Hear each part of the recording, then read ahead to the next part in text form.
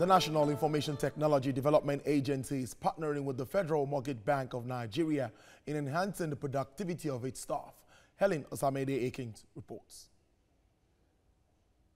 The last census taken in 2006 puts the population of the Federal Capital Territory at 776,298. Between 2000 and 2010, the population grew by almost 140%, with more recent estimates showing that the population now exceeds 2.4 million.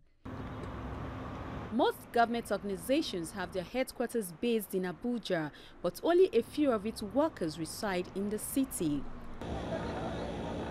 Over 40% of its workers reside in the suburb of the Federal Capital Territory, largely because of the high cost of accommodation in the federal capital.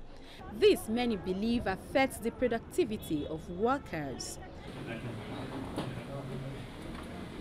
To ensure high productivity of its staff, NITDA is partnering with the Federal Mortgage Bank of Nigeria to meet the housing challenges of its staff. Civil servants, their challenges usually are two.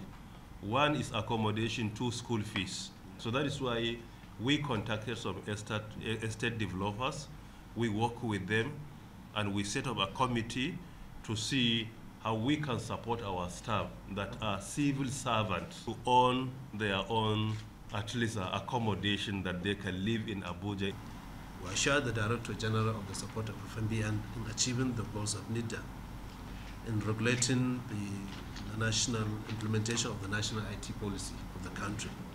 The Federal Mortgage Bank of Nigeria is the apex mortgage institution in the country.